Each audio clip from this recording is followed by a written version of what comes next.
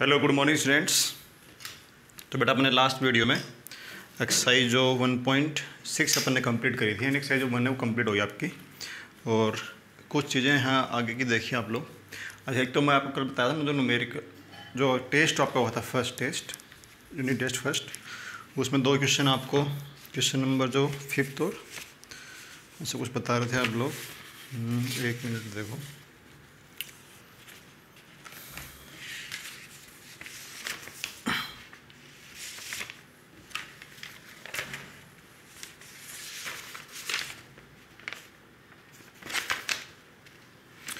Question number fifth and six वो एक बार आप देख लो, फिर अपना एक्सरसाइज टू करेंगे, ठीक है?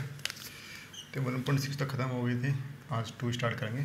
वैसे ये क्वेश्चन नंबर फिफ्थ है, टेस्ट का।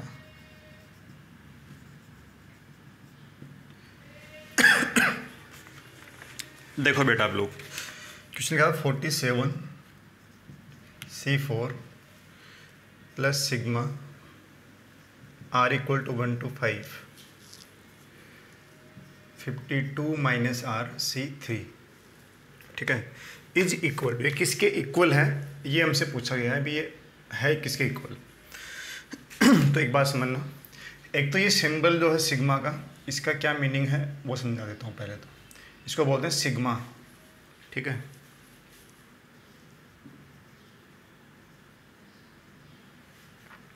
सम करना। सिग्मा मतलब क्या है? सम करना। जैसे मैं कहूँ, sigma R equal to three two R equal to six and three R plus one ये थ्री आर प्लस टू इसका क्या मीनिंग है बच्चे? एक बार आपको यहाँ पर आर की वैल्यू थ्री पुट करनी है। आर की वैल्यू क्या पुट करनी है? थ्री ठीक है? देखो पुट करो। आर इक्वल थ्री पुट किया तो three into three plus two फिर प्लस लगाना है। इस सिग्मा का मतलब प्लस लगाना है। फिर आर की वैल्यू फोर पुट करिए। तो थ्री इंटू फोर यहाँ पर आर की वैल्यू फोर पुट करिए प्लस टू फिर आर की वैल्यू फाइव थ्री से स्टार्ट करना कहाँ तक रहते हैं? ना सिक्स तक। फिर three into five plus two फिर प्लस इस सिग्मा का मतलब हमेशा एक बार आर की वैल्यू थ्री पुट करी, फिर प्लस आएगा, फिर आर की वैल्यू फोर पुट करी, फिर प्लस आएगा, फिर आर की वैल्यू फाइव पुट करी, फिर प्लस आएगा। फिर लास्ट है three into six plus two ठीक है? इस सिग्मा का मतलब क्या है? प्लस जोड़ना। एक बार आगे वैल्यू थ्री पुट करिए, फिर प्लस करिए, उसके फिर आगे वैल्यू फोर पुट करिए, फिर प्लस करना। ऐसे टर्म्स बनती जाएँगी। इन सबको एक साथ हम ऐसे ले सकते हैं। ठीक है? तो सिग्मा वाला क्या है? प्लस करना है। इतनी बात समझ में आई क्या? चलो, देखो। अब यही चीज़ें हमें यहाँ करनी है। मैं एक बार इसको तो मिटा देता हूँ।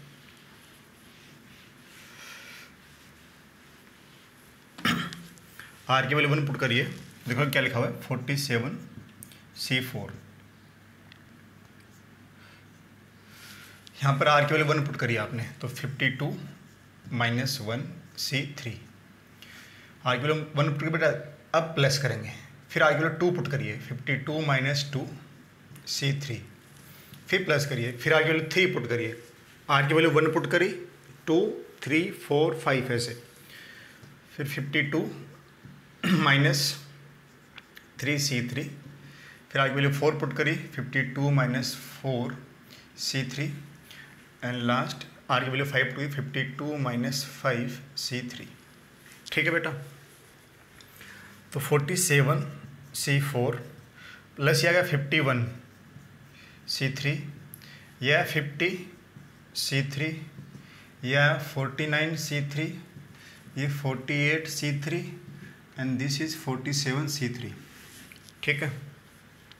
अब मैं इसको इसको पहले इसको ऐसे लिख रहा हूँ forty eight forty seven C four plus forty seven C three plus forty eight C three plus forty nine C three plus fifty C three and fifty one C three इसको इसके पास लिख दिया इसको इधर इसको इधर। भाई प्लस में आगे पीछे लिख सकते हैं कोई दिक्कत नहीं है। ठीक है? अब एक प्रॉपर्टी थी एनसीआर की। N C R minus one plus N C R तो बेटा ये इक्वल होता है। N plus one C R के। मतलब क्या है? जैसे मैं कहूँ seven C three plus seven C four तो बेटा ये इक्वल हुआ एट सी फोर के। ये एन तो इक्वल होना चाहिए। और इसमें से एक कम और एक ज़्यादा होना चाहिए। एक वैल्यू कम होगी और एक वैल्यू बड़ी होगी। तो होगा क्या? इस एन में एक इंक्रीज हो जाएगा और आर वाली वैल्यू में जो वैल्यू बड़ी है, वो सेम रहेगी। ठीक है? वो वाली लिखेंगे आप यहाँ पर ऐसे। तो अभी देखो यहाँ पर आप लोग। इन दो को देखिए। ये दोनों मिले क्या बनेंगे? देखो फोर्टी सेवन एन की वैल्यू सेम है। फोर्टी सेवन फोर्टी सेवन यहाँ पर अगर आर माइनस वन थ्री है तो ये आर है। ठीक है? ये थ्री है तो ये फोर एक वैल्यू बड़ी है तो ये दोनों मिलके बन जाएँगे फोर्टी से फोर्टी एट सी फोर इसमें एन में एक इंक्रीज हो जाएगा प्रॉपर्टी से, और इन में से दो जो वैल्यू बड़ी है, वो आपके पास आएगी। ठीक है? तो इसकी वैल्यू इनकी वैल्यू क्या बन गई? ये पूरा टर्म मिलकर क्या बन गया? Forty eight C four plus forty eight C three plus forty nine C three plus fifty C three plus fifty one C three ठीक है भाई? दोनों टर्म लिए बल्कि फोर्टी एट सी फोर फिर आगे वाले जो टर्म्स है वो सेम लिख दिया ऐसे कैसे अब इनको देखिए ये दोनों मिले क्या बनेंगे बताओ अब तो forty eight forty eight same है, और ये सी थ्री और सी फोर है। तो एन में एक इंक्रीज हो जाएगा, क्या बन जाएगा? फोर्टी नाइन सी और जो वैल्यू बड़ी आर में से, वो वाली बड़ी बड़ी वैल्यू फोर तो ये दोनों मिल गए forty nine C four plus forty nine C three plus fifty C three, plus fifty one C three. अब बताइए, ये दोनों मिलके क्या बनेंगे? तो आप कहेंगे, सर, ये फोर्टी नाइन एन तो सेम है, ये सी थ्री, सी फोर, एक वैल्यू छोटी, एक बड़ी है। तो फिफ्टीन, फोर्टी नाइन जो था, इसका बनेगा फिफ्टी, एक इंक्रीज फिफ्टी सी फोर। इनमें से बड़ी वैल्यू है। अब बताओ, ये मिलके क्या बन जाएँगे सही? ये बन जाएँगे फिफ्टी वन सी फोर। और ये अगर last fifty one C three अब ये दोनों मिलके क्या बन जाएँगे? फिफ्टी टू सी फोर जो क्या कहा, इसका बी ऑप्शन था, वो आपका करेक्ट हो जाएगा फिफ्टी टू सी फोर ठीक है? एक तो इसमें नई चीज़ क्या थी? सिग्मा थी। सिग्मा मतलब प्लस करना है आर की वैल्यू वन पुट करनी है, फिर प्लस करना है आर की वैल्यू टू पुट करनी है, फिर प्लस करना है। ठीक है? ऐसे। फिर दूसरा एक प्रॉपर्टी का यूज़ करना था। उससे आप ये आंसर सोल्व ये जो लास्ट ईयर राजस्थान बोर्ड की बुक थी, उसके अंदर मिल जाएगा क्वेश्चन आपको। ऐसे क्वेश्चन नंबर सिक्स देखें।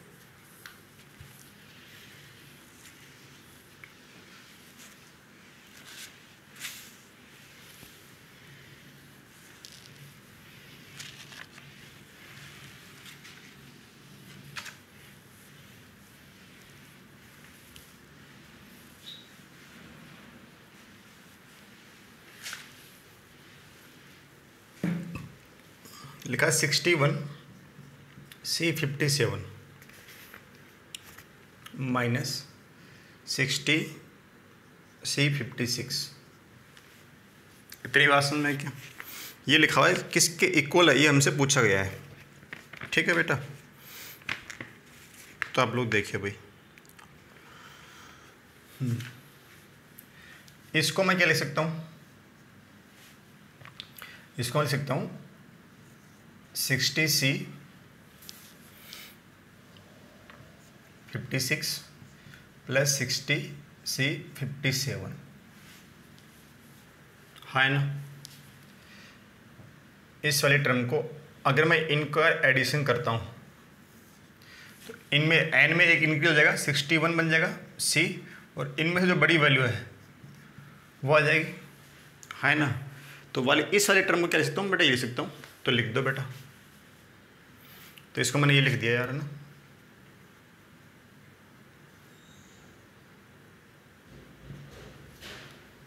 इसके माइनस में क्या है? सिक्सटी सी फिफ्टी सिक्स यानी अब की बार उल्टा वाला काम कर। इससे पहले property N C R minus one plus N C R equal to N plus one C R तो उस N plus one C R को उल्टी वाला जो टर्म है, उन दो में ब्रेक कर दिया। तो बेटा ये तो कैंसिल आउट हो गया। क्या बच गया? सिक्सटी सी फिफ्टी सेवन आपका ये ऑप्शन है, अगर इसे ऑप्शन में तो वही आपका आंसर हो जाएगा। कौन सा ऑप्शन है? बी ऑप्शन है बेटा। ठीक है, ये आपका आंसर है सिक्स का।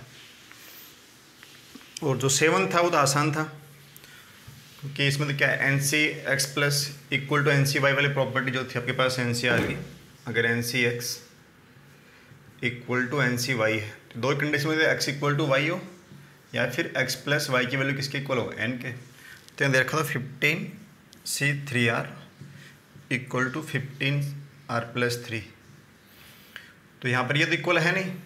तो इन दोनों का सम ये एक्स अगर ये वाई है तो X plus Y three R R plus three equal to fifteen then four R equal to twelve आ जाएगा बेटा। R equal to three R की वैल्यू क्या बन जाएगी? थ्री बन जाएगी। ठीक है? चलिए तो ये आपके टेस्ट पेपर के वो सॉल्यूशन हो गए तीन क्वेश्चन जो आपने, दो क्वेश्चन जो मैंने पूछे थे। अब आ जाइए एक्सरसाइज टू में। एक बार इसको आपकी बुक को खोलिए और देखिए भाई इसको। तो एक्सरसाइज जो टू है आपकी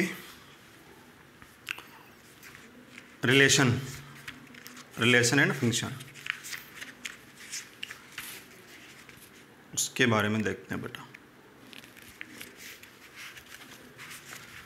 तो एक्सरसाइज टू है आपका। रिलेशन एंड फ़ंक्शन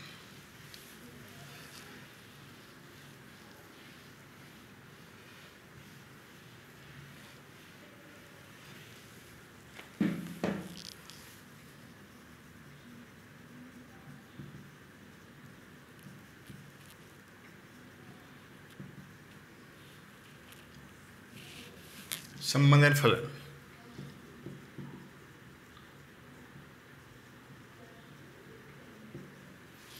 रिलेशन का मतलब संबंध और फ़ंक्शन का मतलब फलन। ठीक है? अच्छा एक तो इन्फॉर्मेशन आपके लिए ये है कि जो स्टूडेंट भी स्कूल आ सकते हैं तो वो स्कूल में आके टीचर से डिस्कस कर सकते हैं। मेरा टाइमिंग है नौ से साढ़े दस। या मा, नौ मान लीजिए चलो साढ़े आठ मान लीजिए। Eight forty five two. साढ़े दस तक या ग्यारह बजे तक मैं स्कूल रहता हूँ। मतलब ग्यारह बजे से पहले निकल जाता हूँ। ठीक है, साढ़े दस तक आ जाए और आप। एट फोर्टी फाइव टू साढ़े दस तक मैं स्कूल में रहता हूँ। अगर आपको कोई डाउट इंडिविजुअल आके डाउट पूछना है वीडियो में चीज़ें समझ में नहीं आ रही हो, और इंडिविजुअल आके डाउट पूछने हैं तो आप आ सकते हैं स्कूल उसके लिए आपको अपने पेरेंट्स से परमिशन लिखवा के लानी होगी। परमिशन में लिखवाना क्या है? इतना सा लिखवाना कि कि मैं Rohit Kumar father of this मतलब सुरेश एंड कुछ भी लिख लीजिए ना मेरा बच्चा रावत स्कूल में पढ़ता है। इसको मैथ्स में कुछ प्रॉब्लम्स हैं। इसके लिए मैं इसको, इसके टीचर के पास समस्याओं के समाधान के लिए भेजने की परमिशन देता हूँ। ठीक है? ऐसा लिखवा के उस पर साइन करवा के पेरेंट्स के, और आप स्कूल में आ सकते हो। ठीक है? और इसके परमिशन के रिगार्डिंग अगर वो ज़्यादा क्या लिखवाना है, क्या नहीं लिखवाना है तो आप प्रिंसिपल सर से बात कर सकते हो। यानी स्कूल के नंबरों में बात कर लेना। ठीक है, या आप स्कूल में आके बात कर लेना कि सर, क्या परमिशन हमें लिखनी है। वैसे एक दिन, दो दिन तो आप आराम से आ सकते हो, कोई दिक्कत ही नहीं है। ठीक है? तो जिसको भी ऐसा लगे कि मुझे कुछ पढ़ना है, स्कूल में चल के कुछ डाउट्स क्लियर करेंगे तो आप वेलकम आपका स्वागत है, आप आइए। और जो भी समस्या है डिस्कस कर लीजिए। बाकी गूगल मीट पे आप क्लास तो ले ही रहे हैं, वहाँ बता दिया करो। और जिन बच्चों ने टेस्ट नहीं दिया है तो वो अभी जो क्वेश्चन किए हैं, वो आप नोट कर लेना, कभी आगे काम आ जाएँगे आपको। ठीक है भाई। चलिए तो अब आज ये फ़ंक्शन संबंधन फलन में, ठीक है? संबंध फलन पढ़ने से पहले आप लोग पढ़ लीजिए पहले कार्टिजन प्रोडक्ट कार्तिक गुणन।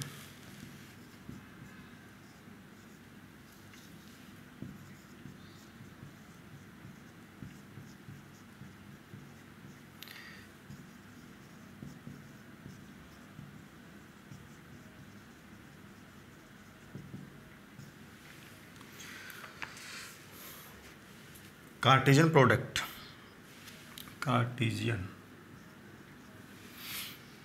कार्तीय गुणन क्या होता है समझना बेटा आप लोग?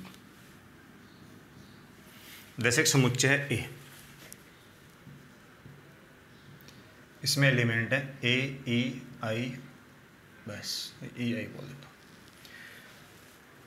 एक समुच्चय है बी वन टू थ्री ठीक है? कार्टेजन प्रोडक्ट क्या है?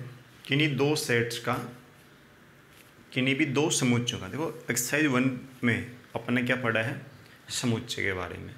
सेट्स के बारे में पढ़ा है। कैसे कैसे टाइप्स के सेट हैं? किस किस फॉर्म में अपन लिखते हैं? उन पे कौन कौन से ऑपरेशन सप्लाई होते हैं? ठीक है? तो जिस बच्चे ने एक्सरसाइज वन नहीं पढ़ी है तो सेट्स के बारे में ज़रूर पढ़ ले एक्सरसाइज टू से पढ़ने से पहले। ठीक है? तो दो सेट्स का कार्टिजन प्रोडक्ट उसको डिनोट करते हैं ए क्रॉस बी से। इन दो सेट्स का हम कार्टिजन प्रोडक्ट करेंगे। उसको डिनोट करेंगे ए क्रॉस बी से। ए डॉट बी नहीं लगाएँगे भाई। ए डॉट बी नहीं लगाएँगे ए क्रॉस क्रॉस का मतलब कार्टिजन प्रोडक्ट उसका सिंबल है ये चिन्ह है। ठीक है?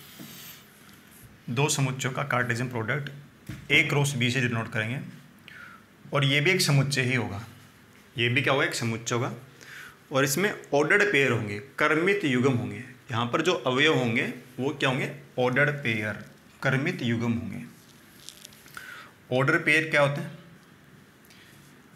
मजले कोष्टक में ऐसे लिख देना। जैसे आपने बिंदु पढ़े ना वन थ्री आपने ज्योमेट्री के अंदर या कोऑर्डिनेट ज्योमेट्री के अंदर बिंदु की लोकेशन, बिंदु की स्थिति को दर्शाते हो आप वन, थ्री तो इसका मतलब क्या है? एक्स एक्स पे वन एंड वाई एक्सिस पे थ्री, ये वाला बिंदु वन, थ्री। तो ये एक ऑर्डर्ड पेयर है ये। ये कर्मित युगम है, ठीक है? तो दो समुच्चयों का कार्तिक के गुणनफल, एक कर्मित युगमों का, कर्मित युगमों का समुच्चय होता है। और इन कर्मित युगमों में, इन ऑर्डर्ड पेयर में जो एलिमेंट्स होते हैं, वो कैसे कैसे होंगे समझना। ए पहले है तो जो ये ए एलिमेंट है ए का रिलेशन आएगा वन से ए इंटू वन फिर ए टू फिर A three A one A two A three फिर ऐसे ही आपके पास। A one E two and E three ठीक है? फिर I one I two I three इधर भाई आई है ये। I one I two and I three ordered pair का जो फ़र्स्ट एलिमेंट है ऑर्डर्ड पेयर का जो फ़र्स्ट एलिमेंट है, ये जो ऑर्डर्ड पेयर आपका, जैसे ए टू बोला मैंने तो ये इसका फ़र्स्ट एलिमेंट ये सेकेंड एलिमेंट ये पहला व्यव और ये दूसरा व्यव जो फ़र्स्ट एलिमेंट है, वो तो होंगे समुच्चय ए से। और जो सेकंड एलिमेंट होंगे, वो होंगे समुच्चय बी से। ठीक है? ये ऑर्डर पेयर है और इनके बीच में क्या आ जाएगा? कोमा ओके तो ये आ जाएगा ए क्रॉस बी ये आपका आंसर हो जाएगा बेटा। ठीक है भाई? तो इसकी डेफिनेशन लिखनी है ए क्रॉस बी की। तो आप अपनी बुक उठाओ और मैं इसमें आपको कुछ चीज़ें बता देता हूँ। आप नोट कर लेना।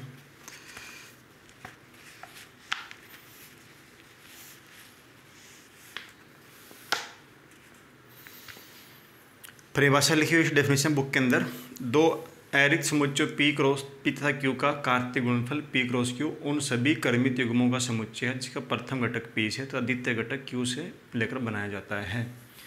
एंड पी क्रॉस क्यू हमें दिए होना है। P Q P belongs to capital P small Q capital Q ठीक है डेफिनेशन लिखे ना समझ जाता हूँ बहुत चीज़ें बातें आसान है।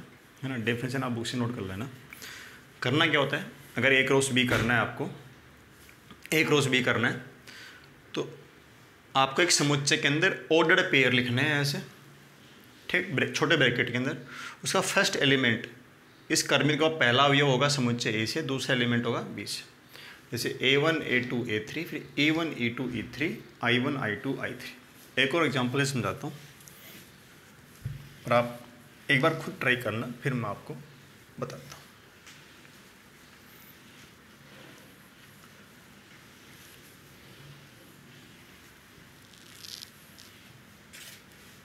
जैसे मैंने कहा, एक समुच्चय ए है, या समुच्चय एक्स है। इसमें एलिमेंट है स्मॉल एक्स या थ्री फोर सेवन एक समुच्चय वाई है। इसमें दो एलिमेंट है small X and small Y तो X cross Y X cross Y ध्यान में क्रॉस अभी साइन है ना? ये किसका साइन है? क्रॉस का साइन है। ये वाला। ये तो समुच्चय एक्स है और क्रॉस वाई तो बेटा जब एक्स क्रॉस वाई करोगे तो इसमें आएँगे ऑर्डर्ड पेयर कर्मित युगम आएँगे। उस कर्मित युगम पहला योग किससे होगा, समुच्चय एक्स से। तो तीन तीन एक्स तीन वाई तीन एक्स तीन वाई इसको ए भी ले लो ना एक्स वाई तो सेट ही हो गया आपके। तो तीन है, तीन बी ऐसे चार है, चार बी फोर है, फोर बी और सेवन ए सेवन बी ठीक है? इसको आप ऐसा नहीं लिख सकते हो कि ए थ्री बी थ्री फिर यहाँ पर चार ए चार भी कर दें। फिर तो चेंज हो गया मेरा अब देखो, इसका जो फ़र्स्ट एलिमेंट है वो किससे एक्स होना चाहिए। और यहाँ पर फ़र्स्ट एलिमेंट किससे है? वाई से आ गया। ठीक है? तो ये गलत है। जो फ़र्स्ट फ़र्स्ट एलिमेंट है, वो समुच्चय एक्स होंगे सेकेंड एलिमेंट समुच्चय बी से होंगे। ये आपके पास कर्मित आएगा इन दो सेट्स का। ठीक है? इनका कार्टिजन प्रोडक्ट है। इतनी बात आपको समझ में आई होगी। ठीक है। तो कार्टिजन प्रोडक्ट के बारे में इतना ऐसा ही है फ़िलहाल, और मैं आपको इसके बारे में कुछ चीज़ें आगे चल के बता दूँगा। ठीक है। चलो एक बात आता हूँ। अच्छा इसमें कितने एलिमेंट है बेटा? तीन एलिमेंट है। इसमें कितने एलिमेंट हैं? दो। सेट एक्स में कितने एलिमेंट है? तीन। वाई में कितने एलिमेंट है? दो। तो एक्स क्रॉस वाई में कितने एलिमेंट आए? One, two, three, four, five, six. तो three into six. Three into two, कितने एलिमेंट आएँगे इसके अंदर? सिक्स। किसमें एक्स क्रॉस वाई में। ठीक है?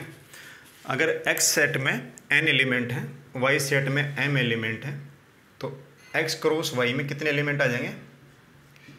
एम इंटू एन ठीक है भाई? थोड़ा सा वीडियो लंबा हो गया आपका। उन तीन क्वेश्चन दो तीन क्वेश्चन के चक्करों में। तो कल से आपकी जो एक्सरसाइज टू है, वो प्रॉपरली स्टार्ट कर देंगे, ठीक है? And exercise two point one कल कंप्लीट करेंगे वीडियो के अंदर। आज के लिए इस वीडियो में इतना ही। कल मिलते हैं बेटा आपसे। Okay take care bye